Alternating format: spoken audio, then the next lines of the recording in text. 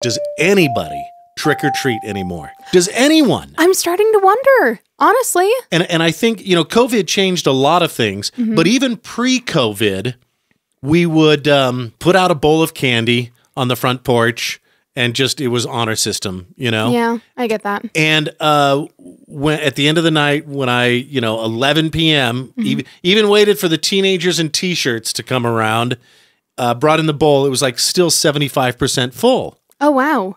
So I know that there are now a lot of Halloween events, particularly trunk or treating, Right, that's a big one. which I believe has only happened in the last 20 years. And also, Right? it's such a bummer. I don't like trunk or treats. I think they're kind of lame and they're not as fun. So I love the concept of efficiency. You've heard the Jerry Seinfeld bit get candy, get candy, get candy. Right, right. You know, you got kids out there with pillowcases. Oh, yeah. And they want to fill it to the brim. Mm-hmm. And I fully support that, by the way. Oh, of course. It's the one it's the one night a year that they can. And so I love the concept of trunk or treating so much that I actually, all right, so uh, pulling back the curtain in radio a little bit, sometimes radio people go from market to market. The minute you show up at a new radio station, they pump you hard for ideas and information because you're fresh blood. You're coming in with a fresh perspective and you sort of tell them things that worked in your market. So so the minute I show up in Milwaukee, they're like, "Okay, what have you done that works?" And I said, "Well, one thing that it was it was was it the fall? One thing that I've seen work in Salt Lake is trunk or is something called trunk or treating. This was a brand new concept. And you know how when you're so excited to share something with somebody because it's such a brilliant idea, we've done that a lot on Oh, this yeah. show. And and and you just can't wait to see their eyes light up. There was nothing but deadness when they looked at me. They just blank. Some of them, I dare say, were even a bit aghast Well, yeah, because it is the death of Halloween. at the concept.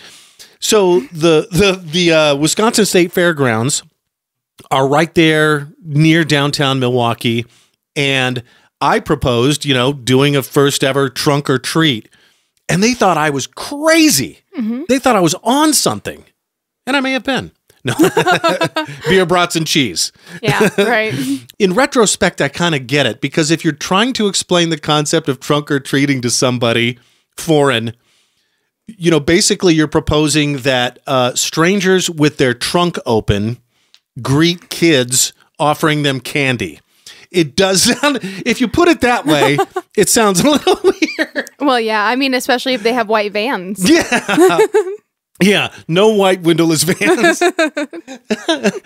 which is what like every radio station van is, by the way. yeah. yeah. Anyway, um, I, I do think that the missing key ingredient that I didn't quite understand at the time was it started in church parking lots. It started with people that you go to church with that so there's that mm-hmm. built-in trust right. to right. some degree. Well, and you know, I think that you really should have harped on how much safer it is because, you know, you're all in one space. Yeah. Everyone's looking at everyone. It's not like anyone can grab a kid and run away because there's someone else five feet away from them. Right. Yeah, But I love the concept of trunk or treating because kids get candy fast. that's true. But I think kids should have to work for it. Right. I think it makes you more grateful for the candy you do get. Well, yeah, and I know there was at least one Halloween where I told the kids, uh, and and I think they were older, so it wasn't much of a disappointment. One of them actually had a party they were going to, a sleepover at a friend's house or something. Oh, cute. But I was just like, I'm just gonna go buy a bunch of little minis. We'll get the good stuff. You can divide it up. Would that be okay? Yep, great. That's kind of funny. Because you know, Yeah. I like Easter egg hunts where the parents force their one month old to go out on the field and battle with a six month old. Yeah. I'm exaggerating slightly. you know, it's like, why don't you just go spend the two dollars on a bag of candy and call it good? true. I true. know there's I will say the too. experience in there somewhere. Yeah. Well, and on the other side of the trick or treat uh, exchange, as the person in the house giving out the candy, I would much rather be in my house with wassail on the stove or apple cider or whatever. I guess wassail's a little Christmassy, uh, but apple cider on the Don't stove. skip holidays, Karley. Stop How it. dare you talk about wassail at Halloween time? How dare you?